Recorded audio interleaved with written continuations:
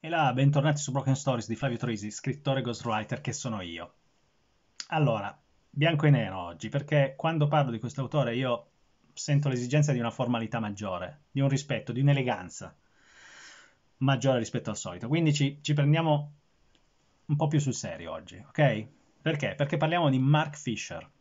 Ragazzi, questo è un video per me cruciale, importante per comunicare con voi certi concetti, per cercare tutti noi che amiamo questa narrativa del brivido, dell'oscuro, ma anche dell'immaginario, insomma, per cercare di capire cosa c'è dentro, cosa c'è dietro, cosa c'è veramente sotto, ok? Mark Fisher ci ha aiutati in questo senso. Vi metto qui sopra la scheda che rimanda alla prima recensione, alla prima dissertazione tentata da parte mia per discutere con voi Mark Fisher, quando vi parlai di The Weird and the Eerie, questo suo libro straordinario pubblicato da Minimum Fax, in cui criticamente lui dimostrava che il weird è un genere letterario, diciamo è un mood letterario estremamente contemporaneo perché riflette che cosa? La paura indistinta di una minaccia incomprensibile e ineffabile che permea la nostra società. Pensate soltanto al terrore per i cambiamenti climatici, per le nuove epidemie, tutte queste queste paure indefinibili, che è difficilissimo anche soltanto catalogare. Il weird è la letteratura che descrive questa sensazione. E poi l'erie,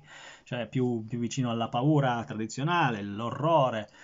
Insomma, viviamo in un'epoca in cui la fantascienza, diciamo la verità, ci rappresenta un po' poco, cioè quella fiducia nel progresso, nella, nella tecnologia, nell'innovazione tecnologica, perché l'innovazione tecnologica è contemporaneità, è quotidiana, è quasi veramente e ovunque ti giri c'è un'innovazione tecnologica.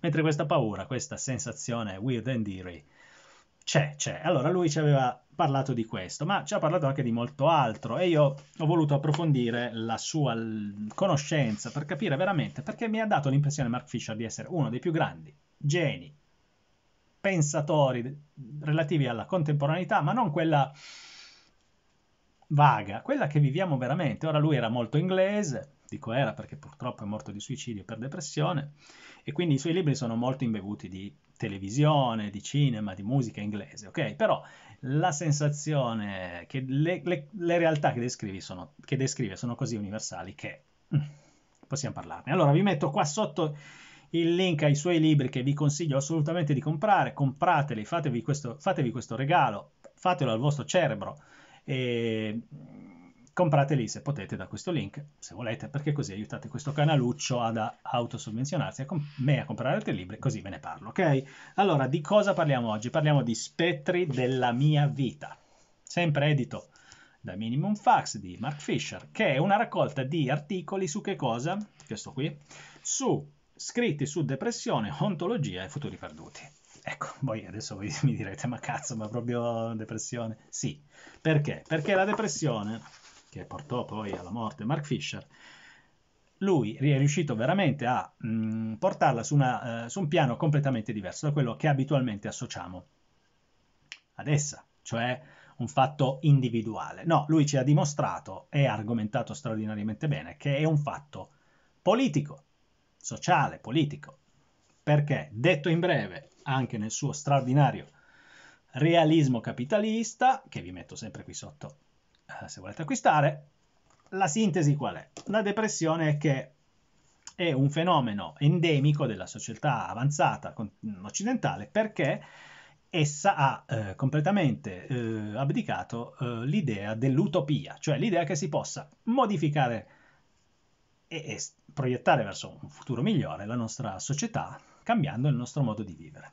Perché ci abbiamo rinunciato a tutta una serie di eventi, tutta una serie di prospettive che sono venute a mancare anche col crollo del muro di Berlino, con il crollo della ideologia, insomma, del, del comunismo, del pensiero che ci fosse che cosa? Un'alternativa al capitalismo. Il capitalismo ha completamente invaso poi la nostra, eh, la struttura stessa nostra, del nostro pensiero relativo al vivere ed è diventata una realtà in, immutabile. Da lì il concetto di realismo capitalista, cioè concetto che non c'è nessuna alternativa e tutti noi siamo diventati realisti, ma capitali- realisti capitalisti, ok? Non si è più realisti, si è realisti capitalisti, cioè si pensa che non si possa modificare questo stato di cose. Se ti va bene, se sei uno di quelli che in, questo, in questa complessa, intricata, accanita competizione dell'uno contro l'altro ti trovi bene, allora sei uno di quelli, quei, quei leoni che nel capitalismo prospera, ok?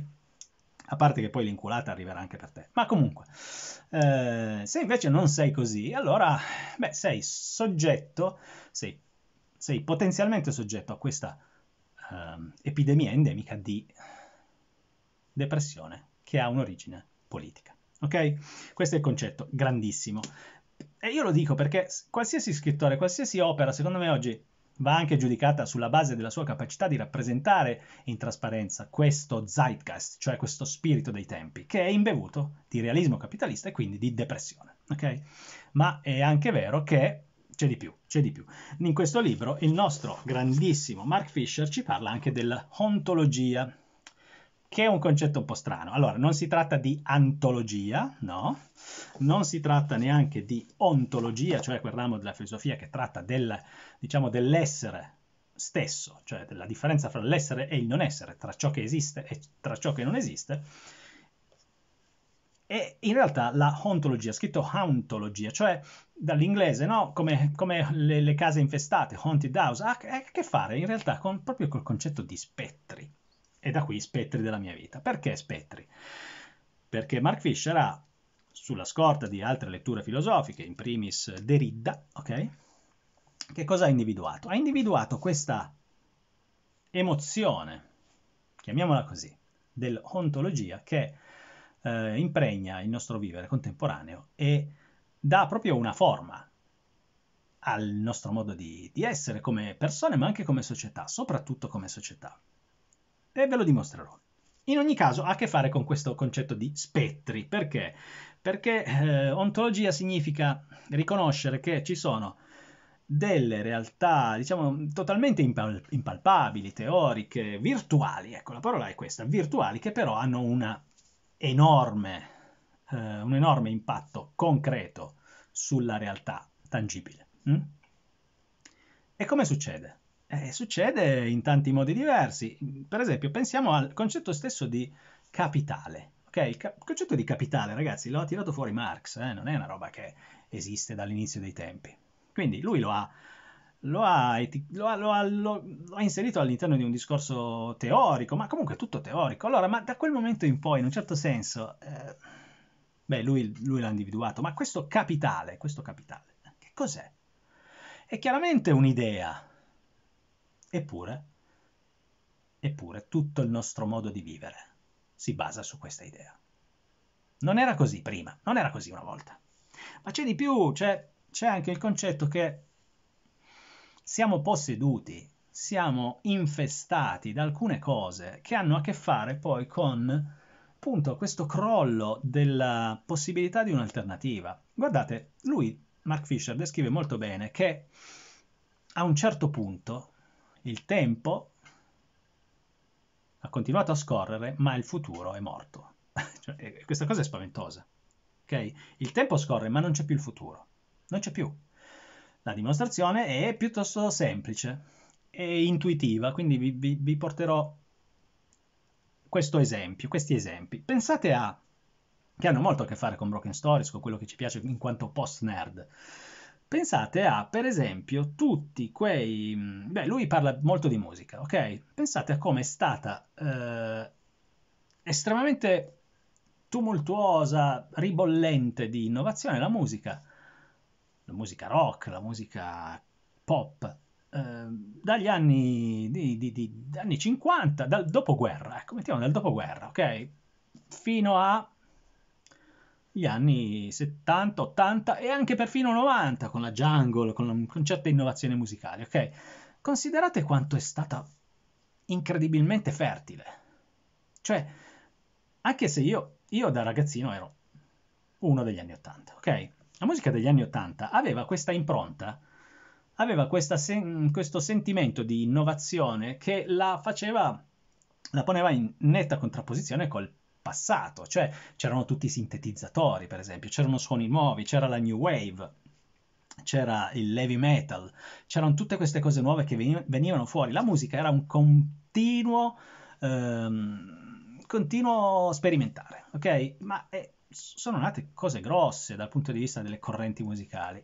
E così è andata avanti anche fino agli anni 90, c'è stato, io, io lì seguivo molto meno, ma lui, Mark Fisher ci dimostra che è così, ok? E adesso? Cioè, non è un discorso di nostalgia, di dire, ah, una volta si stava, si stava meglio, adesso si sta peggio, non è questo, è che molto semplicemente abbiamo smesso di inventare il mondo, di inventare il futuro. Abbiamo smesso a un certo punto di credere che fosse possibile migliorarci, avere, qualco- avere delle idee strepitosamente nuove. Ragazzi, siamo nel 2021 che sta finendo e parliamo tutti di Ghostbusters Legacy.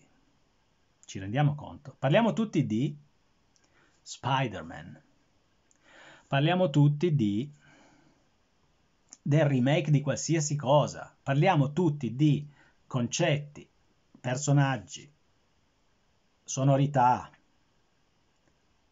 che non sono nate adesso, che sono di per sé vecchie. Ragazzi, la differenza fra la musica degli anni 60 e quella degli anni 80 era abissale, abissale, molto più di quella che divide la musica degli anni 80 da quella del 2021. Ci rendiamo conto di questo.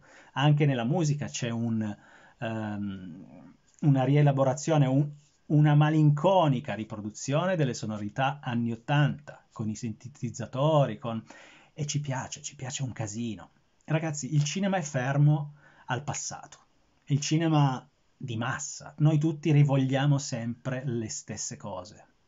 Pensate a Star Wars. Star Wars perché è riesploso? Perché è di nuovo ovunque? Perché noi non crediamo più che oggi sia possibile inventare Star Wars. Un altro Star Wars, un altro fenomeno simile.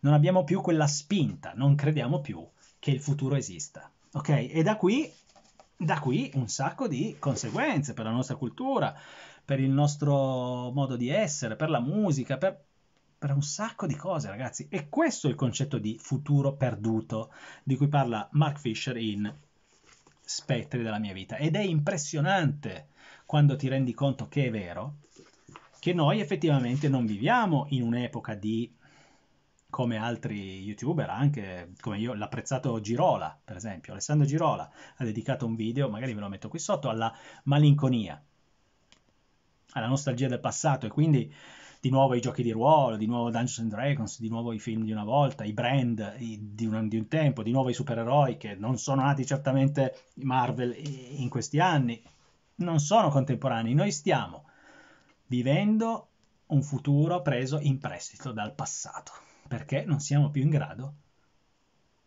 di generarne uno. Ed è spaventoso, è questo che fa veramente paura.